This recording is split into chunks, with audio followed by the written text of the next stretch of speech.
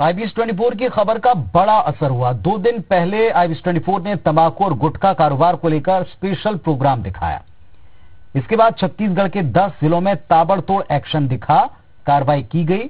Chhattisgarh state GST ने tax चोरी को लेकर आज एक साथ प्रदेश में कई जगहों पर इन गुटखा कंपनियों पर छापामार कार्रवाई की।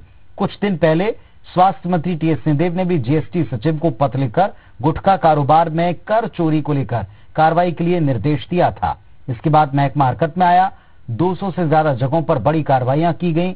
ये कार्रवाई राजश्री, विमल, पान बहार, पान पराग, रजनीगंधा जैसे बड़े पान मसाला ब्रांड्स के खिलाफ हुई है। रायपुर, दुर्ग, भिलाई, बिलासपुर, कोरबा, जांजगीर, धमतरी समेत 10 जिलों में ये कार्रवाई की गई।